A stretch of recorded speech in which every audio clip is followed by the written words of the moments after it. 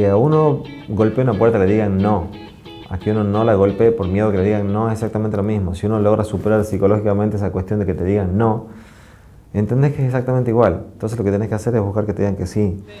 Hizo una mejor improvisación en el momento.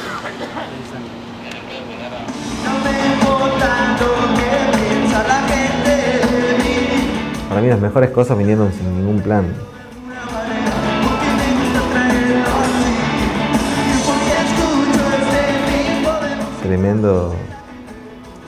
Salir a ese escenario, de esas características, escuchar una ovación.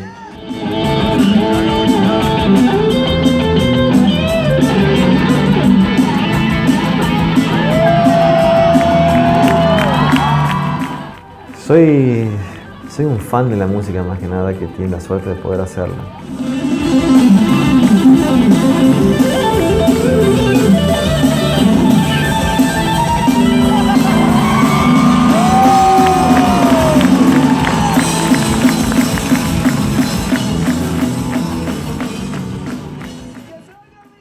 Muy satisfactoria en todo, en todo aspecto.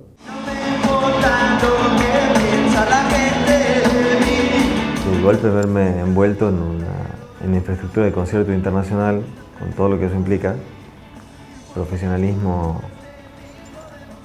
en el escenario y fuera del escenario, esas cosas donde vos decís, bueno, casi no hay lugar para el error.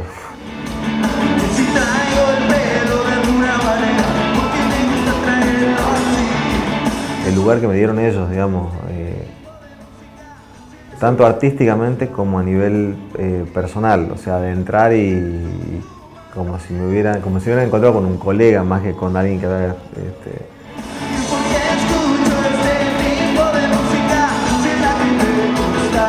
noté eso prácticamente desde, el comienzo, sobre todo con Sergio cuando entré y, y me dio ese lugar, hacía como que los gestos, vamos para allá, corramos para allá, mandate para acá. Como dándome más lugar a mí inclusive. O sea, como relegando un poco su lugar. O sea, me empuja prácticamente, al final directamente me hizo así, directamente.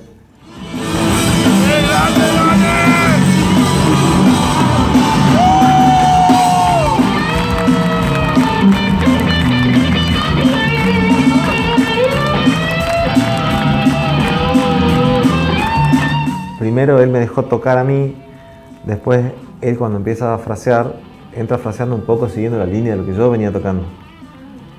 Y después me va llevando hacia su forma de tocar.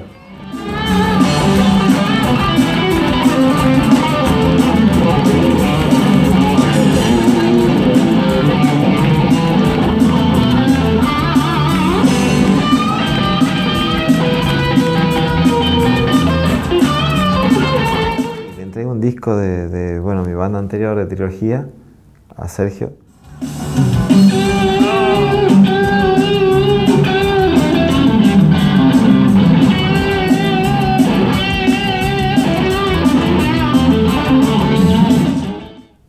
Justamente hoy comunicándome con, por mail con él, este, me decía que no tenía todavía dónde escucharlo el disco, este, pero que le pase links eh, donde haya cosas que pueda ir escuchando, lo que yo va, porque, porque bueno, hasta que no termine la gira no encuentro lugar donde poner un CD.